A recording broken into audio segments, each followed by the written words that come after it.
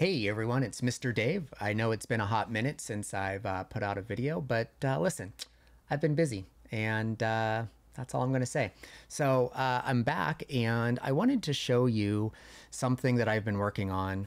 Uh, one of the things that I like to do in my D&D games, especially for campaigns where there is a larger city or village where the players have a lot of choice to go to different places, uh, that's a lot for me as the GM to manage. So I really like using interactive maps where the players can see what's available, click, get a bit of information, and then choose to go there.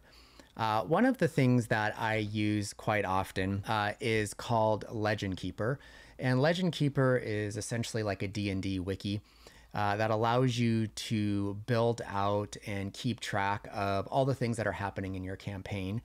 And uh, right here is uh, an area that I built. And you can see here in LegendKeeper, uh, I can put a map down and I can use these interactive tokens. I can choose to hide or not hide these tokens and my players have access to this wiki. If this is hidden and they come to this area, they will not be able to see it. Uh, but if I unhide it, they can see it, click on it, and get all of this good information. And down here are secrets. So me as the GM can only see these parts. Uh, and then over here, I have a menu of all of the things that are at this brew pub called the Minotaur and Butcher. So I thought, hmm, how can I recreate this in Alchemy? Because really, I would love to use Alchemy as the central area that my players are using. And so that's what I'm going to show you what I came up with. So back in Alchemy, I have a scene. We built this in the last tutorial uh, where I showed how to build an interactive map. And one of the features that Alchemy has is what's called tactical mode. And if I click on tactical mode, I can add any map that I want. Here is a map that I've imported. And as you can see, it's it's huge, right? I mean, you can zoom in and if I turn on the grid, you know, you can see that this is a massive map. One of the maps that comes to my mind is one of the D&D adventures called uh, The Tomb of Annihilation. And without giving too much away in case you haven't played it, one of the first areas that your players go to is this massive port. And they spend a good amount of time in that port. There's lots of uh, story hooks and missions and activities.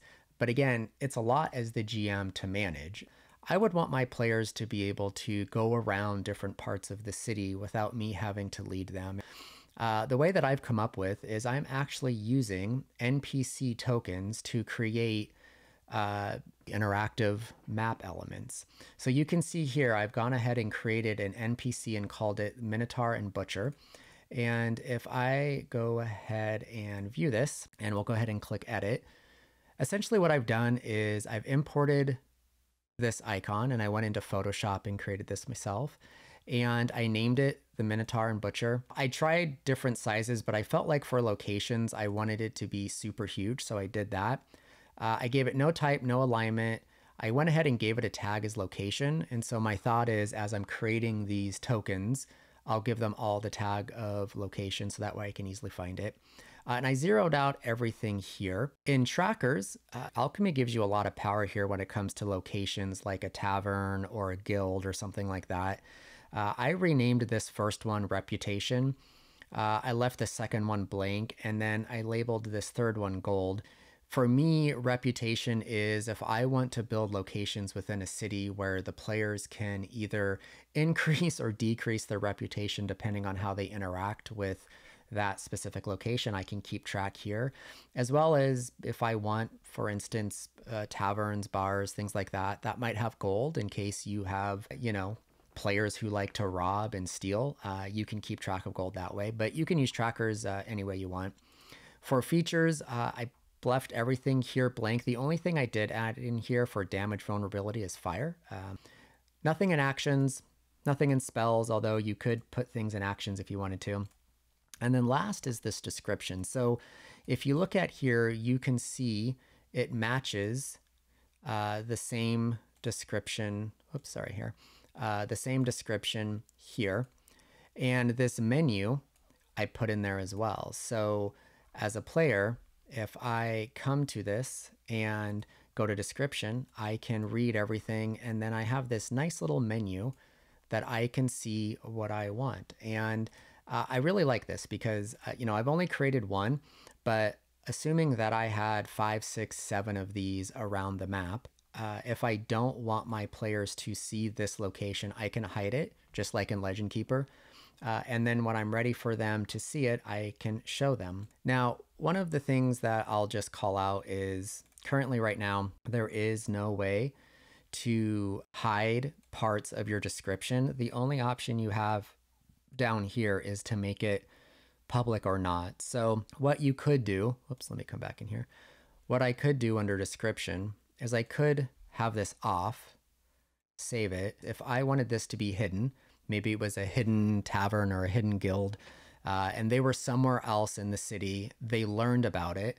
I could go ahead and show it to the players, but when they clicked on it, they would not be able to see anything in the description now I'm the GM, so I can until I unhide that. So I think in the future, the Alchemy team talked about adding the ability to hide portions of the description. And that's really where I think you could add as a GM all of your notes and, and potentially open up more information. Uh, I think a really good use case for secrets is if I want to put uh, different adventure hooks uh, in this description for me as the GM. So that way, when they go to this location, it's all right here. I don't have to have it in separate notes. Uh, the one thing I'm going to show you, however, is uh, if you have something like this and you want to get this into markdown format, uh, what I would suggest you do is you could go to any of the D&D online generators. Uh, there are quite a few, and you can generate a pub with a menu. So one of the uh, ones that I use is this one right here. Uh, I'm not going to even try to pronounce that, um, but it's essentially a generator. It lets you generate all kinds of towns. And if I come in here and just come down here and select tavern, and I'll click create new building. And if I scroll down to the bottom, uh, it creates uh, a tavern called the Burning Monkey. If I click on the Burning Monkey, it takes me in here and you can see all I need to do is click menu and it gives me a menu. Now I need to now take this and convert it into Markdown. Now this is a pretty short menu. Sometimes this can generate a really long menu. Well, let me show you real quick in case you want to do it manually. So uh, in Alchemy, the way that you build a table in Markdown is like this. So uh, if I come down here, uh, you just do a dash, you label the header. So in this case, uh, so I would put dish, I would do another one and I would hit cost, and then I would do another. And then if I wanted to make it a column header, I would need to put at least three hyphens.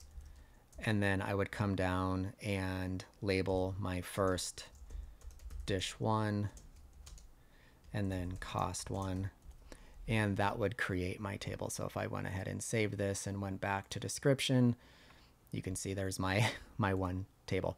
Uh, now that can take a long time. So what I would recommend you do is use trusty ChatGPT. And if you're not using ChatGPT by now, um, I don't know what you're doing. Got to use it. It's free. So I would get yourself a free account. Come on over. Uh, you do not have to pay for it. And essentially, what you're going to do is come down here. We're going to say um, create markdown table with the below data. The column headers are dish and price.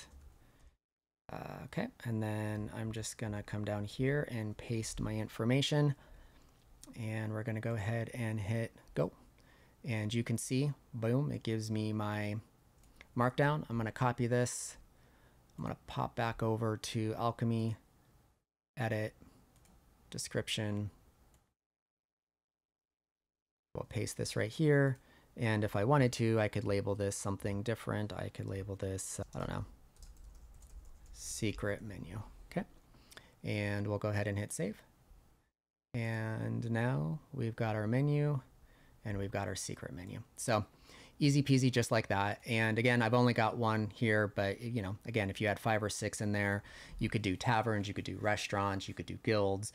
And the goal here is that you could show and hide uh, the icons as needed and share and show the description as needed. And as the GM, uh, while it requires a bit of uh, upfront um, editing of alchemy you know you have it built. I would suggest you do this in your content area and then that way you could import it uh, especially if you have an agnostic map. So just creating a general village you like to use in a lot of your campaigns you can create this once. You can create all of the different shops and then you can import it into your campaigns as needed. So uh, i know it's a short video hope it was helpful um, hope uh, you know, for those of you that were looking to do interactive maps, this is just one way that uh, I do use it in Alchemy. All right, thanks everyone. Bye.